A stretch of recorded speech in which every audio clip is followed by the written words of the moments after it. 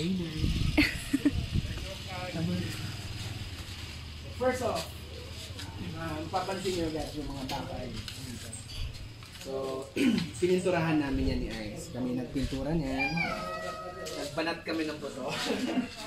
okay na siya lahat. Nag-hire muna ako ng isa pang laborer.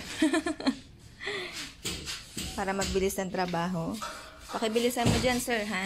Yes, sir. Kasi kakabit na yan. Katerno niya pa yung pintura, oh. Para matuyo na bukas, kabit na siya. Tapos ilalim naman na. Yes, sir. Tapos, uh, pininturahan niya para hindi kalawangin. Ayan. So, bukas, meron pa sila, ay, meron pa pipinturahan ito. Yung mga yero. Yung mga yero, um, i-repurpose siya kasi sabi ni Kuya Mando, pwede pa raw to eh. Yung mga yan. Meron pa doon. Nilinis lang niya, tapos tinakpan yung mga butas. Ayan, ito pa. Bali, pumili siya ng mga pwede pang magamit. Kasi, yung Kasi- kabila wala namang ano Oh, eh. then, oh, tsaka kasi maganda pa daw, makapal daw to eh. Yung mga dating yero. Oo, kaysa daw sa mga bago. So, i-repurpose na lang siya. Eh, kung ako lang, palit tayo ng bago mo doon. Akin lang. Ah, Hindi, okay na. Mas matagal pa. Subok ko na yan eh. Oo, Ang dapat. Mm-mm. Hindi mo na nakalo yan yung brand yung brand yung Manipis na? Sabi na sabi yan, makapal na kayo. Ah. Ay, mas makapal pa pa rin. Mali. Pag natitulahan yan, una pa yung mas matibay ang luma, no? Oo, Mas ano yung makapal. nyo? Ito, parang... Hindi pa natapos. ng frame, Oh, para bukas siguro i- Yan ang maganda titulahan. Ganyan. i-contain na. Kasi kapit-kapit dito ulit yan. Yung yero ko yan. Pag magasgas na siya. Ah, sige, yan muna. So, sa CR, eh, nabuksan ni Pinto. Yun, nilagyan na ng bintana ni Kuya Edwin. Tapos, Yan, high na siya, oh. nahiya siya. Para ano, Pinulido niya. masikat ako niyan sa YouTube. Tapos nilagyan din niya ng ano. Ano bang tawag dyan? Ay, pasok pa. Ito. oh. Yung patungan, yung mga shampoo, ganyan.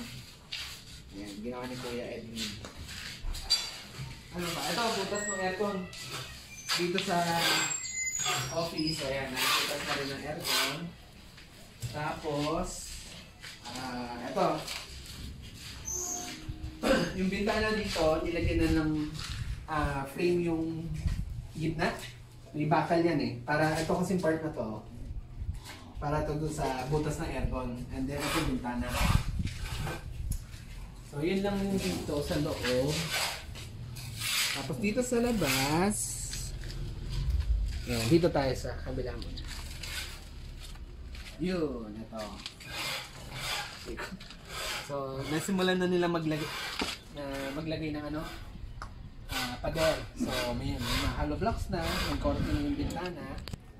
Then, meron din um, korte yung ano, pang aircon yan dito sa taas. Mm, provision for aircon. So, pupuliduhin pa yan. So, papantay pa yan. Tapos, actually, nung una, medyo tabingi siyang pa ganun eh. Nakaganon siya.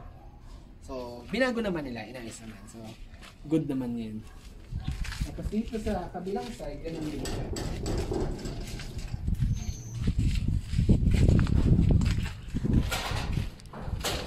Si Kuya Edwin ulit.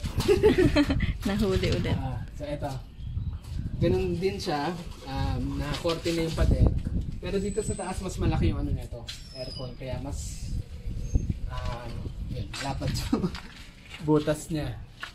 Tapos, um, kalat situation, ganun pa rin yung nandito sa likod.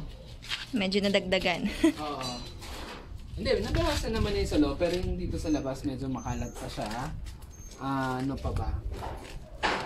Ah, yung ano.